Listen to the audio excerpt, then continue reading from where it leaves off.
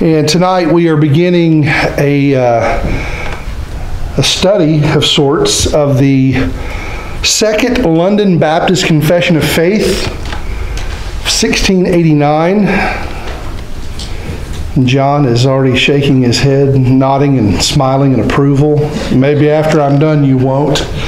Uh, but remember, folks, with uh, and we are grateful for what the Lord has provided us but we also have our limitations with space. So Wednesday nights uh, started to take a turn toward more of a general discipling. It's not perfect, but but it's at least something along those lines. In addition to those who are able to meet in groups outside of the walls of our uh, building.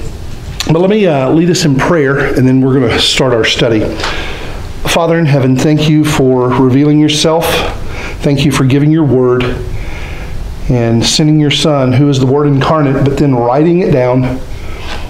And I pray that that we will actually be able to fathom to some degree the generations before us that stood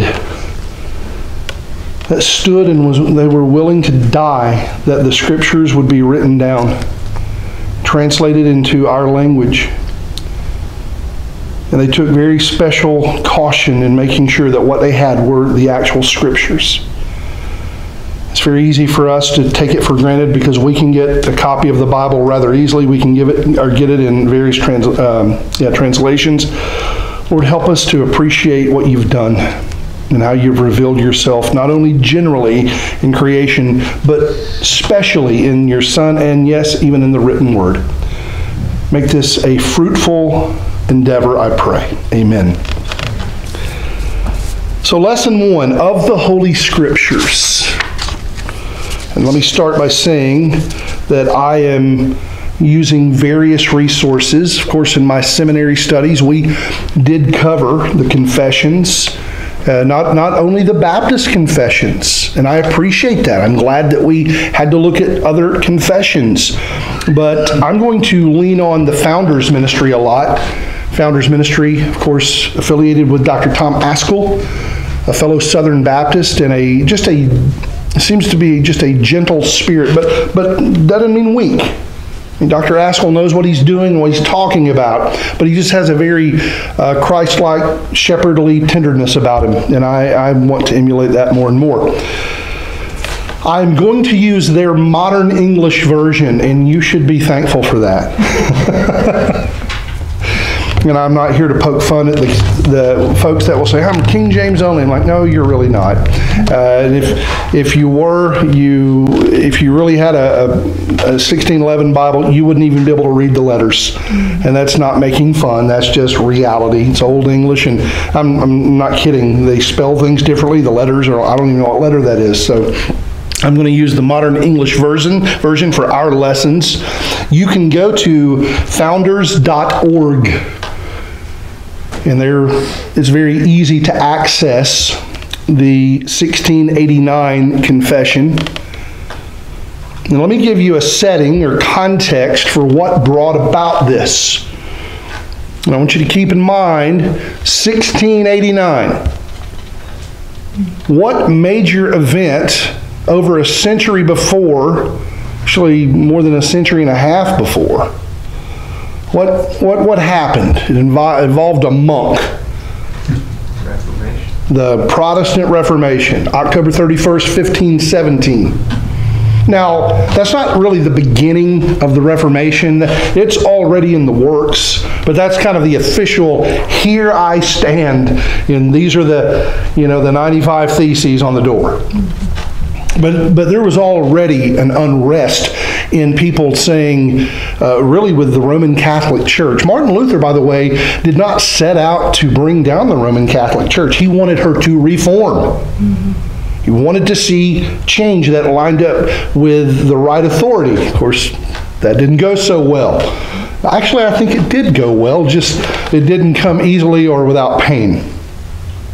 But the Protestant Reformation, there, October 31st, 1517, is followed uh, by what is called the First London Baptist Confession in 1644. And you say, Darrell, that's, that's over a century uh, after the, the quote birth of the Protestant Reformation. Folks, things didn't move quickly. It's not like today. So there, there's a progression of, of, of these events happening. And that first Confession of Faith was commissioned in 1644, but the battles of the Reformation largely fueled the people who were going to compose it. Those battles still fresh in their minds, and they're still fighting those battles. What is our authority? And folks, it is so relevant today. Authority.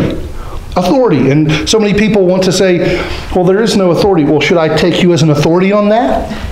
When they're chopping out their legs from underneath them. People want to live in autonomy, and to some degree, there is autonomy, but autonomy can be dangerous too. I'm going to mention a group called the Anabaptist. I remember early on in my ministry at South Whitwell Baptist Church, one of the members said, so you've been to seminary school and all that, so you're going to know the uh, answers to my questions. I'm like, well, ask the question first now. Just coming out of seminary doesn't mean you know everything. But he goes, who were the Anabaptists? I said, I don't know. I said, I think you're talking about the Anabaptists. He goes, well, whoever. Who are, who are that? So, well, the Anabaptist, also known as the rebaptizers, although they would not like that distinction. You know why? Anyone want to venture a guess? Rebaptizer? Yes. See, you're talking about coming out of Roman Catholicism where they practiced infant baptism. Well, the Anabaptists would say that's no baptism at all. That's why they don't like being called the rebaptizers. They would say, no, no, we are the actual baptized now. So even though Anabaptist is typically called rebaptized or the rebaptizers, they would have said no, because that was nothing. You think the Roman Catholic Church liked that, appreciated that? No, they did not. One of the benefits of infant baptism, and I'm not knocking on my Presbyterian brothers and sisters, but one of the uh, one of the advantages of infant baptism for the RCC is that, well, you're officially a member of the church, and when you become of age to be able to work, you can tithe. so, and, and, not only can you, you will. Um, you know, well, I, I had no no voice in that. Well. There you go. So the Anabaptists were a bit more radical, though. You say, how radical were they? Uh, well, one particular practice was that they would perform baptisms and be baptized without clothing. You mean they were in their undergarments? No. No, I said without clothing. Any. Yeah, it's a bit radical. Um, and I'm not going to introduce that practice to Grace Fellowship. Well, Jesus didn't even do that, so I don't know where they got that. Well, that, that's just they were they were kind of a unique bunch, and here's the thing: those who would later compile the Baptist Confession of Faith though they would agree with the Anabaptists in that we see baptism as only for those who are confessing faith in Jesus as Savior. We line up with you there, but you've got some weird practices. You're seen as very odd, and it wasn't about just how people view us, but we don't want to be linked up with you. Okay, think about this. Now, Grace Fellowship our technical name is Grace Fellowship of North Hamilton County, but we are affiliated with the Southern Baptist Convention. But think about our fellow Baptist brethren who have the word Baptist in their name. I pastored South Whitwell Baptist Church. I grew up at Oak Street Baptist Church. It has happened to me where someone said, Oh, so you're like those Westboro people. They're Baptist. No, I'm nothing like them. But, but they have Baptist in their name. Yes, they do.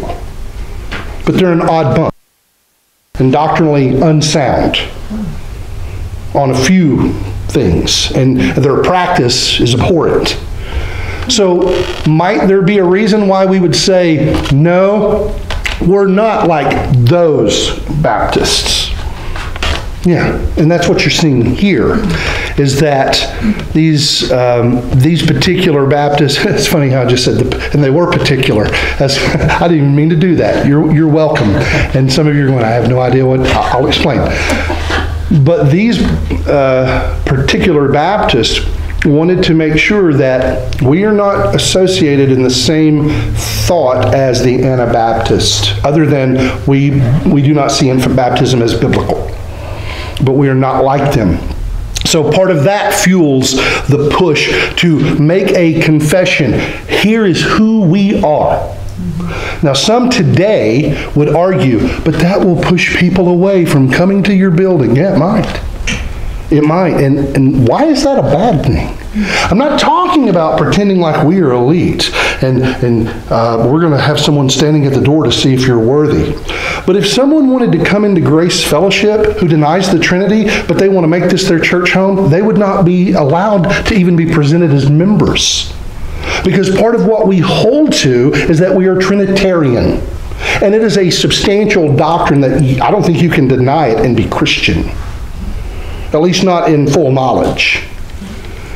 So, this idea of open the front door wide and, and, and make the back door narrow? No, make the front door narrow because those who seek to align with you, seek to join with you, need to have doctrinal distinctions in their thinking. This is who we are, this is who we're not. And if you think I'm just being bullheaded there, folks, there are plenty of people today who will tell you, I'm a Baptist, and yet they will deny that God's word is sufficient. They will tell you, I don't think it matters if Jesus was sinless. Well, you better get that figured out quickly. So these distinctives are, I think, necessary, and, and this is part of the fuel for why these confessions. And the Baptists weren't the only ones. In fact, the Westminster Confession of Faith, which is really good, but it's Presbyterian in nature. It's in 1646, not, not long after that first London Confession. The Second London Baptist Confession borrows heavily from the Westminster Confession. Westminster Confession. It does. It's not plagiarism. They're, they're simply saying we align, we're of like mind with this. We, we differ here and we differ here, but, but here and here and here, man, we, we line up with you. These are our brothers. Uh, they're going to baptize infants. It's known as paedobaptism. We're not going to do that, but we see them as brothers and sisters in Christ. But to, to worship together consistently, that's not going to happen because they're going to be constantly wanting to baptize the infants, and we're going to say no. So that, that's part of the reason why you do have room for denominations. One of the things that cults will, will ask you is, why does God permit denominations? Because there is room for some liberty, some. Not all, but some. But that's what we have. The London Baptist Confession of Faith, which is not as beefy, not as substantive as the second one. The Westminster Confession is really, uh, really solid. But then the second London is really solid, but Baptist in nature. And we could, we could and should be thankful for both. We really should. Now, what about our context? Well, our context is that Grace Fellowship is distinctly Baptist in its formation. Folks, from the very start, I, I made it known that we, would, that we would be Baptist and that I would lead the congregation to be Southern Baptist. I, if that surprises anyone, then, then you weren't listening that day. But I mean, from the very start, I made that the point. And the church that sent us out, sent us out very generously with the understanding that this is what I, what I would do. I'm not going to lie to them. Um, now that doesn't mean if something major happens that, that I can't leave it, but but we began distinctly Baptist and then in particular as Southern Baptist. The London Confessions precede the formation of the Southern Baptist Convention by about two centuries, at least the first one does. But I want to give something to you here. Those who would go on to form the Southern Baptist Convention in Augusta, Georgia in 1845 ascribed to the 1689 London Baptist Confession of Faith. Now, hear me on that, because one of the big arguments within the SBC, and I hear this often from my more Arminian brothers, and yeah, I do see them as brothers well, we need to get back to being traditional Baptist. I agree wholeheartedly. And they're like, but you're Calvinistic. I'm like, I am. Why would you want to go back to our roots? Because guess what our roots were? Oh, it wasn't that. Oh, but they were. Let me give you this quote, and that you can find this on Founders Ministry. The 1689 Confession was the, notice the definite article, the confessional statement of the church or association of every one of the 293 delegates who gathered in Augusta, Georgia to organize the Southern Baptist Convention in 1845. Every single delegate held to a particular Calvinistic view. Every one of them. So when my Baptist brethren, my Southern Baptist brethren talk about let's get back to being traditional, I agree. Let's do that. And then they look at you like, well, no, no, that can't be right. I'm like, go do your homework. And you will find that to be true. You will find that to be true. From our beginning, that is true. Now, there were general Baptists. They're more of the Arminian strain of theology, while the particular Baptists are those of the Calvinistic theology. And even within Southern Baptists, there were both. But the early, the predominant number of early Southern Baptists were Calvinistic. Um, I think it was Dr. Tom Nettles who is really great on Baptist history and Southern Baptist history. Dr. Nettles was asked, and he's at Southern Seminary. John, do you do you have any courses with him, or have you had any courses? I audited one of his courses. Oh, okay, so he allowed you in there? Yes. Okay. Our friend Craig made him mad one time, and I went, dude, what are you doing, making Dr. Nettles mad? But, uh, but anyway, Dr. Nettles was asked by someone not Calvinistic, you know, name me one early Southern Baptist who was a Calvinist. And he said, how about you name one who wasn't? And the person was like, what? He goes, go do your research. Go do your research. Unless y'all think that I'm going to start passing out tulips and putting up posters of Zwingli and Calvin and other, I'm not doing that. But folks, this is formative. No, John, you're not allowed to do that. And I see you're wearing your Southern Seminary hoodie. Uh, I'm not going to wear my Southwestern or Midwestern. Uh, they wouldn't fit anymore if I had them. But but this is this is necessary, folks. If we're going to explain who we are and why we hold to what we hold to, this information is necessary. Don't get into fights, and there are plenty to be gotten into if you're not careful, because there is a big battleground within the SBC, and not only the SBC, but in particular the SBC of this. We didn't start as Calvinists. I'll just push back on that and say, go do your homework. And I, and I mean that graciously, I really do. Uh, one other anecdotal thing I remember hearing someone from my home church, well, Spurgeon wasn't. I went, oh my, oh my goodness. Have you read, because we do have Spurgeon sermon notes online. You can get them very easily, and they're, they're accurate. Um, I'll just give you, well, let's just read this. Spurgeon's congregation unashamedly held to the 1689 London Baptist Confession of Faith and were Calvinistic in their theology. Spurgeon didn't make any apologies for that. So, yes, the great Spurgeon was very pronounced in that. He was. He didn't hide it. He, he, in fact, they wanted people to know in London this is who we are. But Darrell, they, they, they, they can't grow if they do that. But they did because they trusted God to grow the church, not their pragmatism to grow the church. And we have to be careful not to fall under that same spell of going, what are they doing to get people? Pragmatism. Oh, well, then we've got to do that too. No. We are faithful to the Lord and His Word, and we trust that He will build this according to His methods and means. And it takes time, and I know it's a struggle. So let me give you a personal note before we go to a general overview. I gladly ascribe to most of the 1689 London Baptist Confession of Faith. Well, how can you be our senior pastor leading us to be not only Southern Baptist, but leading us to be a Second London Baptist Confession of Faith church and not wholeheartedly hold to every single sentence in the confession. Well, there are only a few places where I differ. And I don't think that by differing in a few places, it means that I can't be considered 1689. I'll give you one in particular. Um, in chapter 22, paragraph 7, the 1689 London Baptist Confession ascribes to a change of the Sabbath day from Saturday to Sunday. I, I don't hold to that. I'm not a Sabbatarian.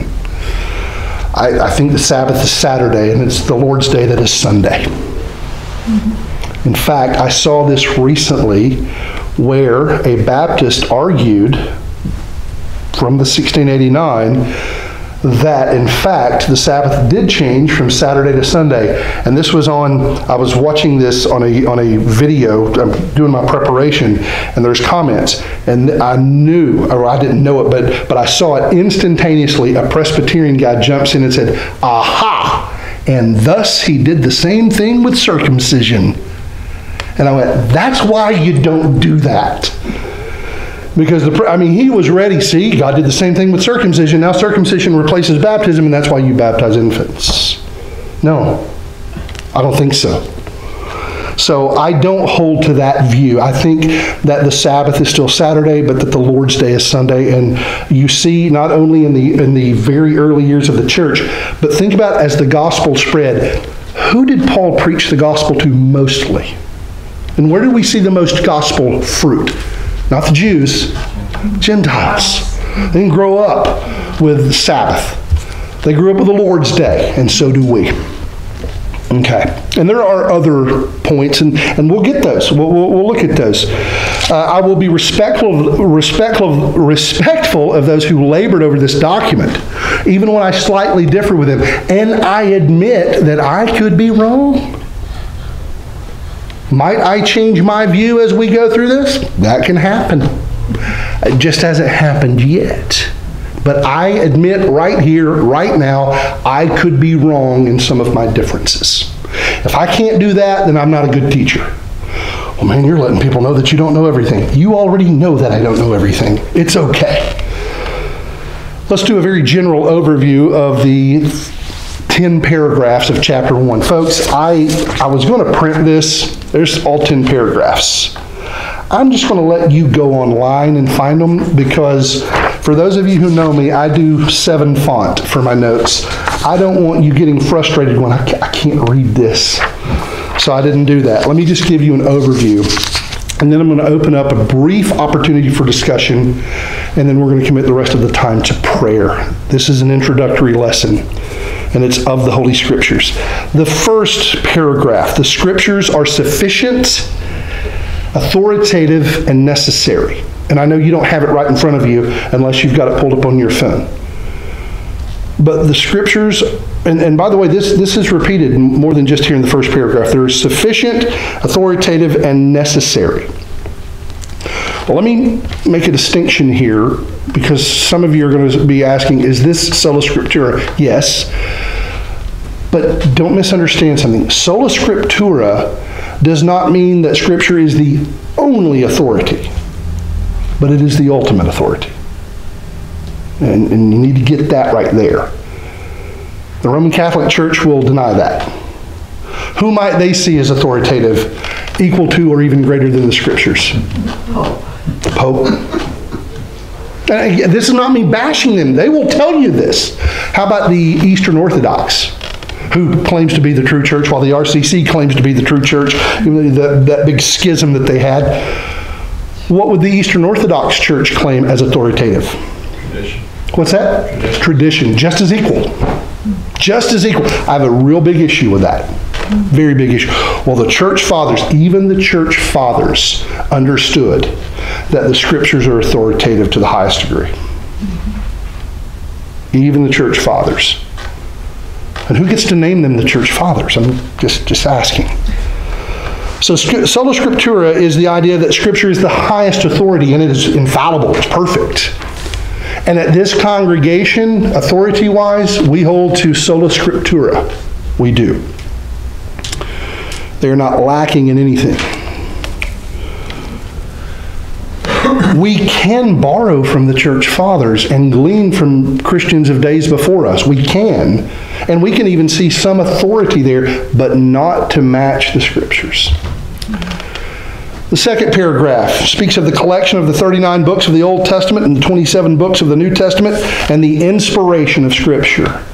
2 Timothy 3 16, all. Notice that, all Scripture. And of course, Paul, by the time he's writing this, they have the full canon of the Old Testament, and they do have some of the New. All scripture is breathed out by God and profitable for teaching, for reproof, for correction, and for training in righteousness, that the man of God may be complete, equipped for every good work. Now, one of the things you're going to hear people do today is they're going to say, well, I have a different interpretation. Be, be real careful there. It's a very common uh, throwback. Um, let me just give you one thing here to consider. 2 Peter chapter 1 verse 20, Peter says, knowing this first of all, that no prophecy of Scripture comes from someone's own interpretation. For no prophecy was ever produced by the will of man, but men spoke from God as they were carried along by the Holy Spirit. God's word says what it says. And this, well, that's your interpretation. Be very careful whenever someone throws that at you, and be very careful from using that. Now, sometimes people do have very poor hermeneutical, uh, I won't even call them skills, deficiencies, and, and you can say that is a very, very poor interpretation. Here's why. Not because of my thoughts, but here's the clear teaching of Scripture. So, the collection of these books and the inspiration of them from the Lord. Now, the Roman Catholic Church will tell you that the RCC is responsible for the scriptures, where we will argue no, the scriptures are responsible for the church. Okay? Third, the third paragraph, you will notice that they talk about the Apocrypha and how it is not included in their canon of Scripture. Now, this is, it's not funny but think about the Geneva Bible. Does anyone know the year that it came out? The full one, not just the New Testament. 1560. And when was the first edition of the King James Bible? 1611. Okay. By the way, the King James Bible that people use today is like the fourth, is it the fourth or fifth revision? It's, it's nowhere, uh, it's not the 1611 here's the thing the Geneva Bible and the 1611 King James Bible both had the Apocrypha. They did. Um, reformers would look at the Apocrypha and say, well, there's some benefit there, but they're not divinely inspired. There's some historical benefits, but no, they're not the Word of God. And others, well, in the RCC said, yes, they are. So there's, again, part of the debate. But the Apocrypha, according to the Presbyterians and the Baptists, are saying, no, that is not in the canon of Scripture. And they made that very clear, open statement, knowing, knowing that there would be a good many people saying, then we will never, ever align with you which would drive modern church growth people nuts. Oh, you you got to be all things to all people, and you got no. You stand on what's true. You stand on what is true, not what is pragmatically successful, which really is not success, at least not in God's view. Fourth, the authority of Scripture, he comes back to that, or they come back to that. Fifth paragraph, the authenticity of Scripture. Sixth, the sufficiency of Scripture. Seventh, the clarity of Scripture, and I do get a little tickled over this because the actual wording is called the perspicuity of Scripture. I remember in seminary learning about the perspicuity of Scripture. I, I think I recall the professor kind of giggling because sure enough, one student said, What does perspicuity mean? He went, Clarity, clearness. So, I would never know what that word meant, but that's a word they knew. So the clarity of Scripture, the perspicuity of Scripture. Eight, paragraph eight, the authenticity of the Scriptures in their original manuscripts. You mean the Paul didn't use the English Bible? No, he didn't. There was no English language. The ninth paragraph, interpreting Scripture by using Scripture. Not experience or feeling or whims or wishes. What that scripture means to me, stop right there. Stop right there. What that scripture means. A lot of damage has been done with probably very sincere hearted people going, let's have a Bible study. They read a passage and go, what does that mean to you? Well, let me tell you what it means to me. And it's a hodgepodge of who knows what. What does it mean? Save yourself from a lot of doctrinal error and heresy. And tenth, sola scriptura again. These brothers in the Lord were very upfront, very firm. We hold to the sufficiency of Scripture, the authority of Scripture, the clarity of Scripture, the infallibility of Scripture, the inerrancy of Scripture, the Word of God. That is our highest authority here. And they were saying this in a time where that was not a popular view. But look what God did with that, folks. Did his church die? No. Do you know that this was used to foster in what is called the First Great Awakening? It was a mighty move of God in his timing. But a sad reality is people got away from that here in the States. They got away from it so there came a second Great Awakening, which, which was not great at all because it was emotion based, not scriptural authority based. Pragmatism. How do we get the people? God gets his people. Well, he's not getting them quick enough. God gets his people. We're going to help him out. He doesn't need you. He'll use us as a means to communicate. But God promised, He Himself said it I will build my church. Well, Lord, here's what I'm going to do. I want to help you out. And I want to just really quick bring some points of, of order from Scripture. When God made Abraham a promise, I will give you a son. And it was taking too long. What was Sarai, who became Sarah, what was her suggestion? Let's help God out. And what was the product of that? Who? Ishmael. Thanks a lot. Did God need their help? And when Abraham says, Here he is, God says, I reject him. I reject him.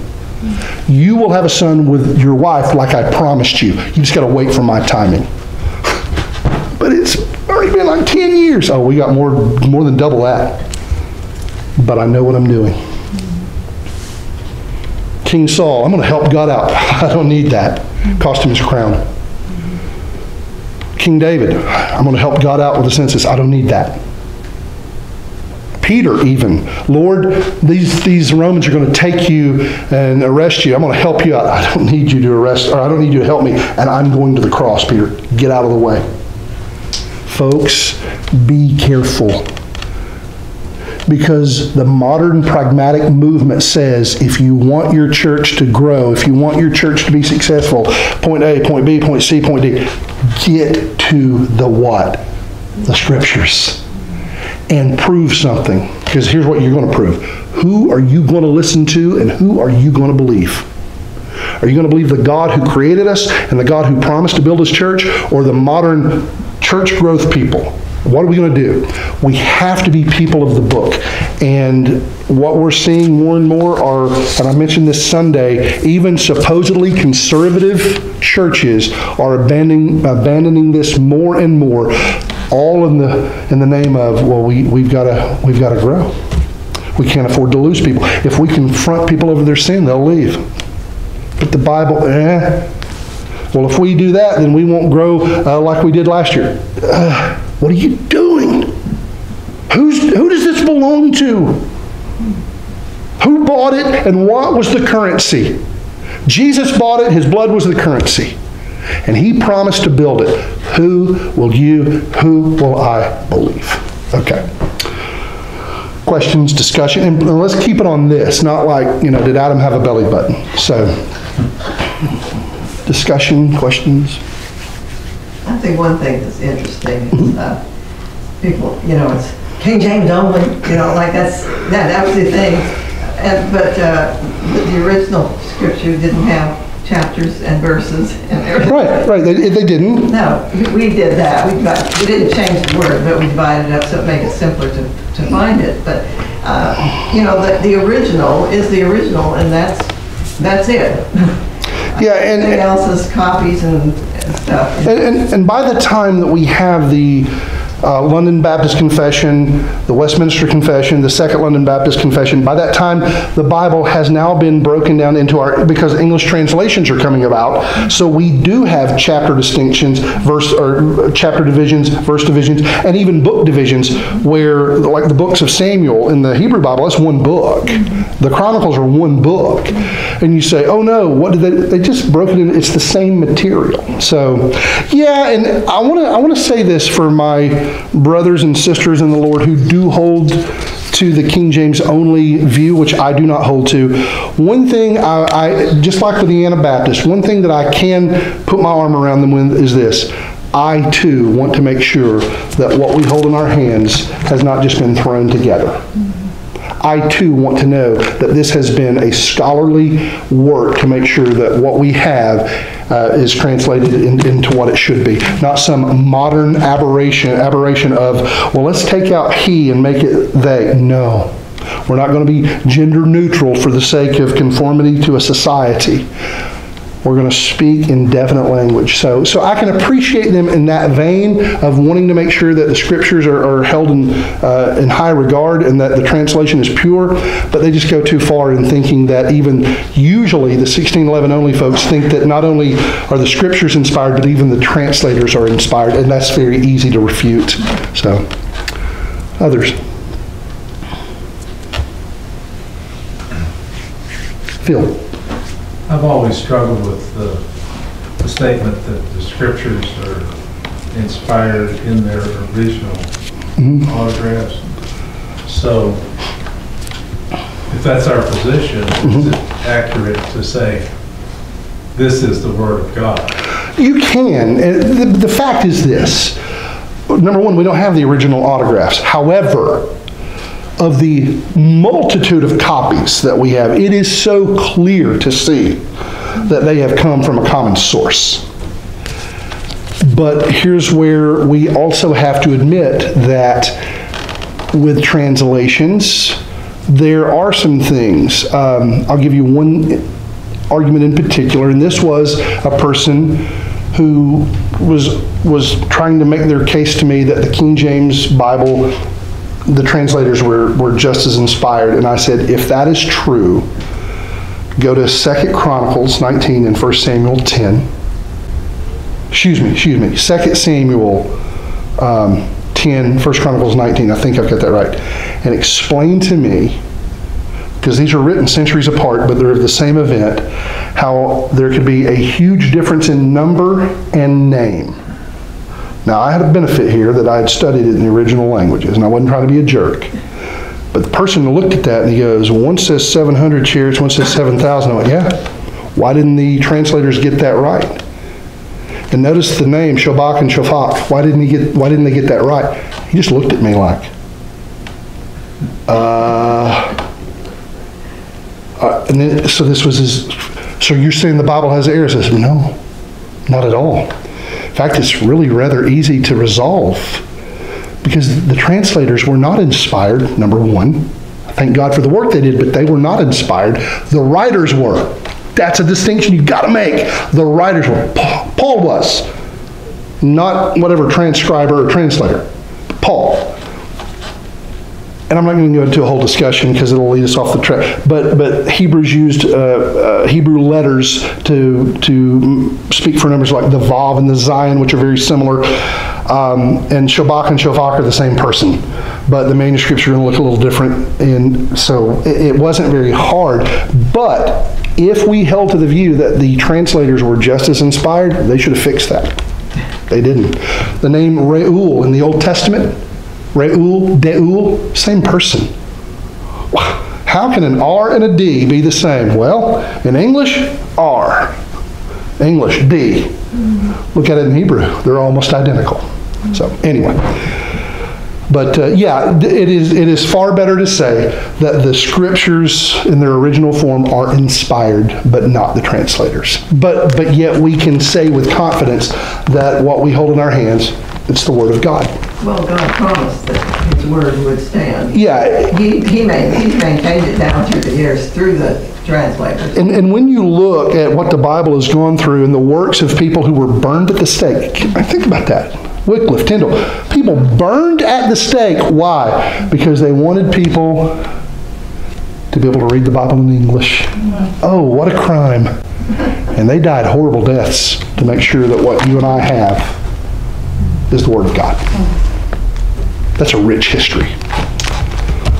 All right, any, anyone else before we close this down? And April, my wife helps me out on the camera and we go to prayer time. One thing. Yes, ma'am. About the infant baptism, I, I was raised in Lutheran church. Uh-huh, they would hold an infant baptism. When I was an infant. Um, and then after we got married, I went to Baptist church and, I- and, you know, I started, oh, okay, it's supposed to be baptized after you're saved. Well, I sure wasn't saved when I was a baby. I didn't know what was going on even. I don't remember being poured on, you know.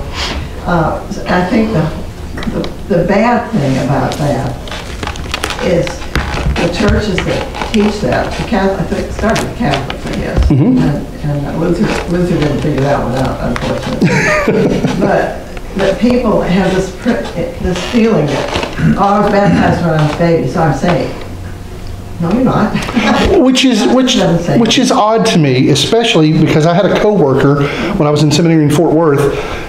He was Roman Catholic in name, but not in practice. But this is what he would say, he goes, but I was baptized. And I'm like, do you realize that in Roman Catholic theology, there is no uh, security of the believer? He goes, I don't know any of that. I'm like, you, and I, I shared the gospel with him repeatedly. My parents bought him a Bible. But I'm just saying, I'm like, it, it struck me as odd that, that someone who is part of a church that rejects, and they flat out reject the eternal security of the believer. I- would, yeah, they do. And and then, but then they would say, but at least I was baptized as an infant. Okay, that's a whole nother topic. Uh, and we will get to baptism one of these nights. But uh, yeah, it's, uh, I, I will say this, and we are going to close and go to prayer time. I have great respect for men like R.C. Sproul, who's now with the Lord. And Dr. Sproul could, he could beat me in Bible uh, trivia if he were on painkillers for wisdom teeth. The man was brilliant. I differ with him, and that's okay because even he would say he's not right on everything. I don't hold to their view, but I love them, appreciate them, and thankful for what they contributed to the body of Christ, and uh, and gladly would listen to him speak at conferences. However, um, I, I have a different theology when it comes to certain particulars. Okay, you get that.